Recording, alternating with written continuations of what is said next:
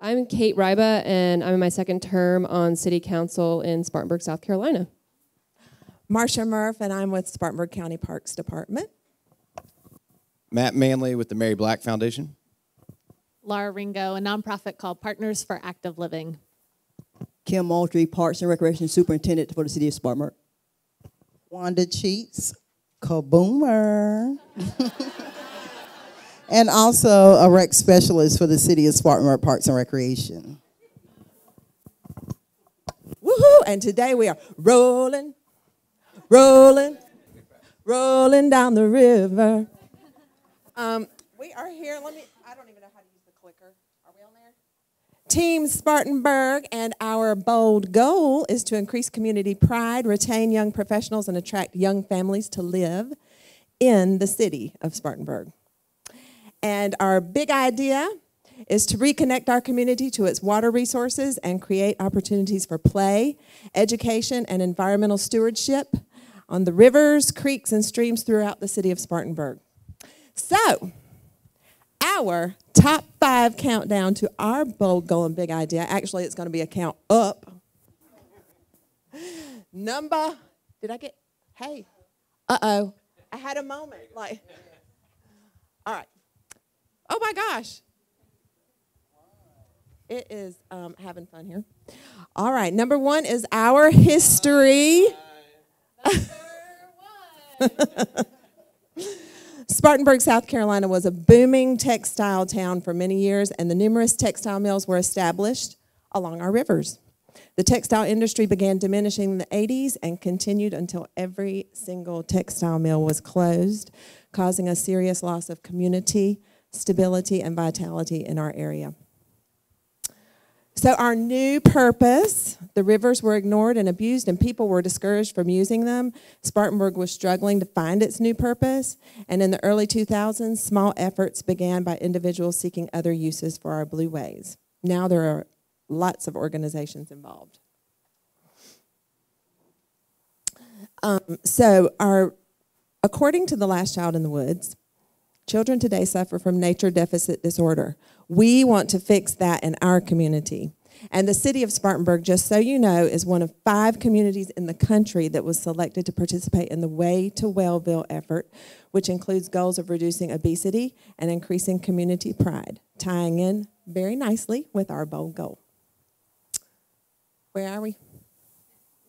I can't keep up with all this. Our plan for outreach in the city, because of the success of the Blueways efforts across our county, the idea was formulated to utilize Lawson's Fork Creek and Fair Forest Creek, and let me tell you, they are as big and long as many as, as many uh, rivers that you might know in your own uh, communities. So, some lakes and existing parks we're going to use too. We've got Duncan Park and Cleveland Park, really awesome um, lakes in our community that we can have our children play in. And woohoo! Number four, love where you live. That is a campaign in our community, and we're going to create these outdoor experiences utilizing our natural resources, and it will be a substantial improvement to the quality of life for our people in our community.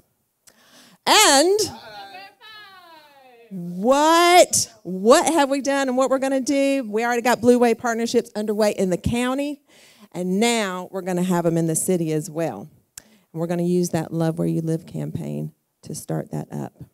We have two stream restoration projects already underway in our community. And we already have people using our, lake, our rivers for kayaking and water play and swimming and fishing. We want to create access points to existing blueways within the city. We want to establish a signage program with ideas for what kids can do at these access points, and we want to create a nature play and water play program within city parks programming. So, Spartanburg takes a leap, and Spartanburg like every other city across the U.S., must look to what we have in our treasure chest. Our lakes, creeks, rivers have been hidden treasures for far too long, and it's time for our children to discover these shiny treasures which have been locked away, and we're going to turn those kids into pirates and sea captains and mermaids and miners for gold and water sprites in general. So think like a river and splash like a creek. Thank you so much, Team Spartanburg. Do you have a question for the panelists, or would you just like to get their general feedback and recommendations? We would love any feedback. Okay, great. So I think this was a great example of how you could use playability to use an underutilized asset that your community has and leverage it also as a competitive um, kind of advantage or value proposition for people to come into your community, either as businesses, new families to move in. So I'd love to hear from our panelists, maybe starting with Stockton, if you had a first remark. Sure. Great presentation and a wonderful idea. It sounds like actually you have a number of ideas. Which ones will you start with? Yeah, there are, since we do have a couple of stream restoration projects already happening, what we want to do is uh, take this idea and implement it along with those. And so there are uh, some uh, conceptual designs for uh, stream restoration that's running through uh, a community park.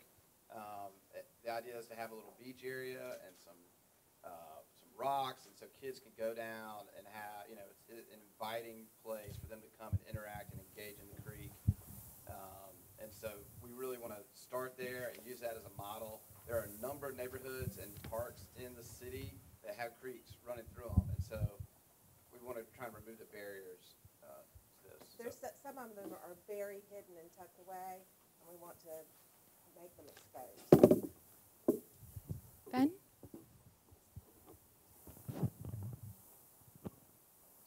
uh, the great presentation.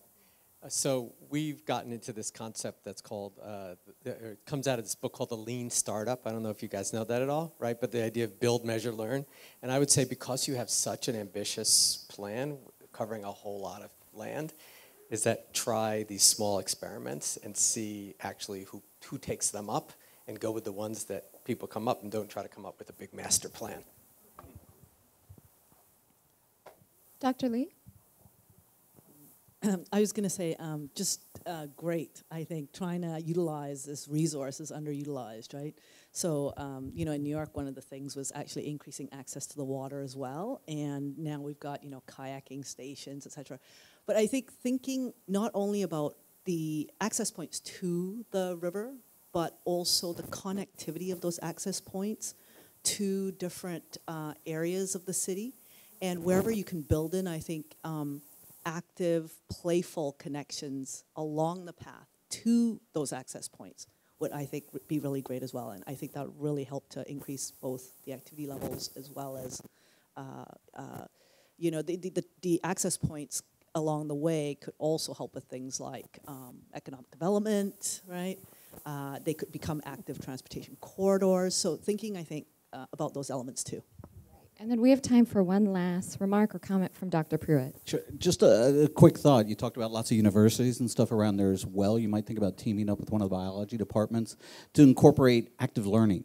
Um, you know, water water sites are, are huge areas, and, and you could really help propagate this by turning out a bunch of little aqua biologists. Uh, you know, learning what, what what's in the rivers, what's in the creeks, turning over rocks, trying to trying to find for it. And they might they might partner to do some uh, you know weekend uh, weekend activities, learn about the creeks and streams, things like that. Good good stuff.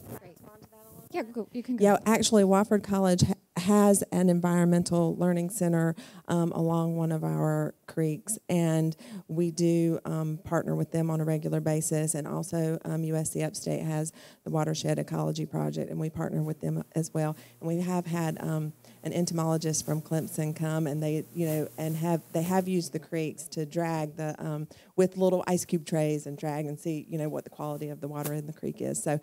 Things are happening, and we just want to improve upon it. Thank you so much.